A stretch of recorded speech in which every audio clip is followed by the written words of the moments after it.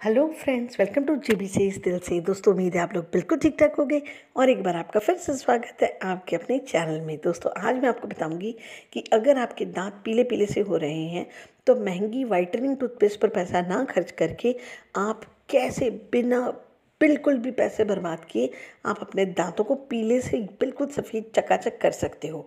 लेकिन एक छोटी सी रिक्वेस्ट दोस्तों यूट्यूब पर है लाखों चैनल और एक बार मेरे चैनल का लिंक हो गया गुम तो आपको ढूंढना हो जाएगा बहुत ही मुश्किल।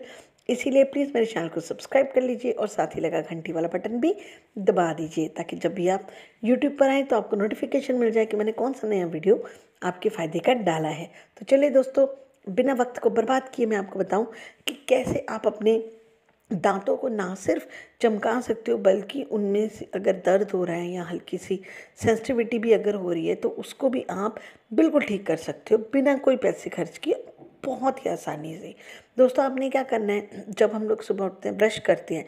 जब आप ब्रश करते हो तो आप अपने टूथपेस्ट जो भी आपका टूथपेस्ट है टूथपेस्ट के ऊपर ही थोड़ा सा आप नमक छिड़क दो और नमक छिड़क के और उससे आप ब्रश कर लो।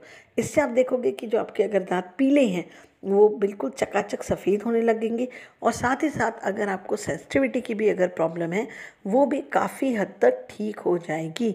और इसके लिए देखो दोस्तों, आपको बहुत महँगी जो वाइटनिंग टूथपेस्ट होती हैं और सेंसिटिविटी टूथपेस्ट होती हैं, उनकी भी ज़रूरत नहीं है।